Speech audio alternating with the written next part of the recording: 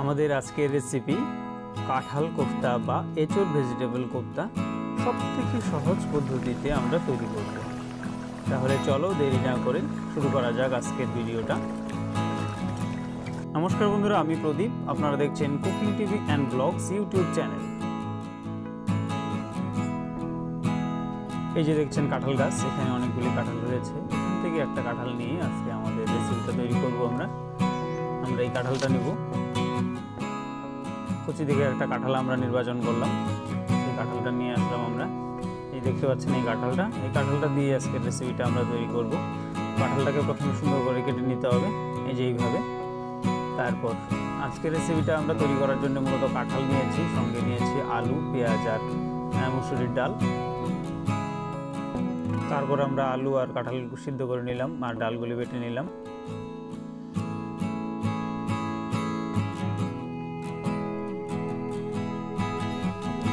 এরপরে আমরা কাঁঠালগুলিকে সুন্দর করে চটকে নিলাম ভালো করে। তারপরে এর সাথে দিয়ে দিলাম ডাল, ডালের বাটা। তারপর ভালো করে মিক্সচার করে নিলাম, সুন্দর করে। যত ভালো মিক্সচার হবে ততই মিক্সচারটা যত ভালো হবে, কোপ্তাটাও তত সুন্দর হবে। এরপর আমরা এক চামচ পরিমাণ লঙ্কার গুঁড়ো দিয়ে দিব। তারপর দেবো আমরা এক চামচ পরিমাণ চালের গুঁড়া। তারপর দেবো আমরা হলুদ, আধা চামচ পরিমাণ। হলুদ দেওয়া হয়ে গেলে তারপরে আমরা দেবো বেসন এক চামচ পরিমাণ। তারপরে আমরা দিব লবণ পরিমাণ মতো। সব কিছু দেওয়া হয়ে গেলে ভালো করে মিশিয়ে নিতে হবে। যত সুন্দর করে মেশানো যাবে ততই ভালো। এরপর আমরা কোফতাগুলি তৈরি করব। প্রথমে হাতে নিয়ে বলের মতন তৈরি করতে হবে, তারপরে সুন্দর করে গোল গোল গোল গোল করে হালকা করে একটু চাপ দিয়ে একটু চ্যাপটা চ্যাপটা করে নিতে হবে। চ্যাপটা করে নিলাম, কারণটা হলো যে একটু কম তেলে যাতে ভাজা যায়। গোল করে নিলে পরে একটু তেলটা বেশি লাগে। তাই আমরা যেহেতু কম তেলে ভাজবো, তাই চ্যাপটা চ্যাপটা করে নিচ্ছি এইভাবে। আপনারা চাইলে গোল করেও নিতে পারেন, অসুবিধা নেই।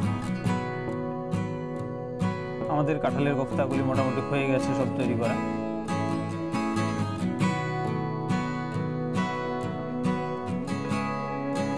এখন আমরা কড়াইয়ে তেল দিয়ে দিলাম। খুব বেশি তেল দিব না আমরা। তেল গরম হয়ে গেছে, এখন কাঁঠালের কোফতাগুলিকে আমরা ভাজার জন্য তেলে ছেড়ে দিচ্ছি। সবগুলি কোফতা দিয়ে দিলাম তেলের মধ্যে। তারপরে এই যে উল্টে দিতে হবে সুন্দর করে। দেখতে যাতে ভেঙে না যায়। আমাদের কোপ্তা মোটামুটি ভাজা হয়ে গেছে, লাল লাল হয়ে গেছে, এখন আমরা নামিয়ে নেব। তারপরে যে গরম তেলে পেঁয়াজ দিয়ে দিলাম, পেঁয়াজগুলি ভালো করে ভাজতে লাগবে সুন্দর করে। পেঁয়াজ মোটামুটি লাল লাল হয়ে গেছে আমাদের, এখন আমরা কাঁচা লঙ্কা আর রসুনগুলি দিয়ে দিলাম এর মধ্যেই। এগুলি কিছুক্ষণ ভাজবো, মোটামুটি ভাজা হয়ে গেলে। তারপরে এর মধ্যে আমরা এক চামচ হলুদ দিয়ে দিলাম। হলুদটা তেলে দিলাম, কারণটা হলো যে তেলে হলুদটা ভাজা হয়ে যাবে। তার ফলে হলুদটা কোনো রকম গন্ধ করবে না। এরপর আমরা আলু আর কাঁঠালগুলি দিয়ে দিলাম। কাঁঠালগুলি একটু চটকে নিয়েছিলাম, আমরা এর ফলে গ্রেভিটা সুন্দর হবে।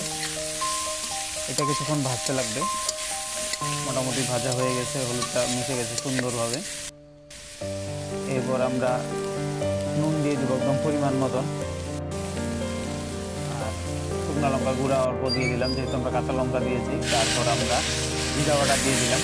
দিয়ে সুন্দর করে ভাজতে থাকতে হবে। কিছুক্ষণ আমরা ভাজবো আর তেল দিয়ে দিচ্ছি। তেল দিয়ে সুন্দর করে নাড়াচাড়া দিয়ে দিচ্ছি। ভাজা মোটামুটি হয়েই গেছে আমাদের প্রায়।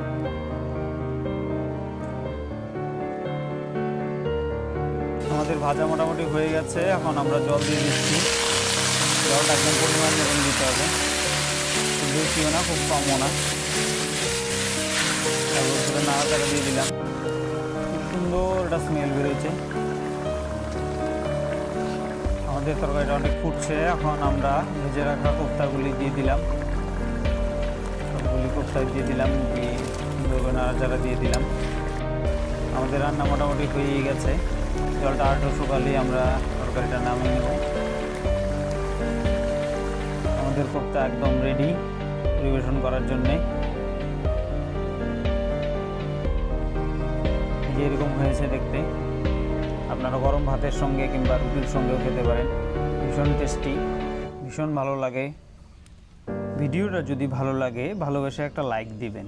আর প্রিয়জনের সাথে অবশ্যই শেয়ার করবেন কমেন্ট করবেন। আর আমাদের এই ছোট্ট পরিবারের সদস্য হওয়ার জন্য অবশ্যই সাবস্ক্রাইব করে পাশে থাকবেন।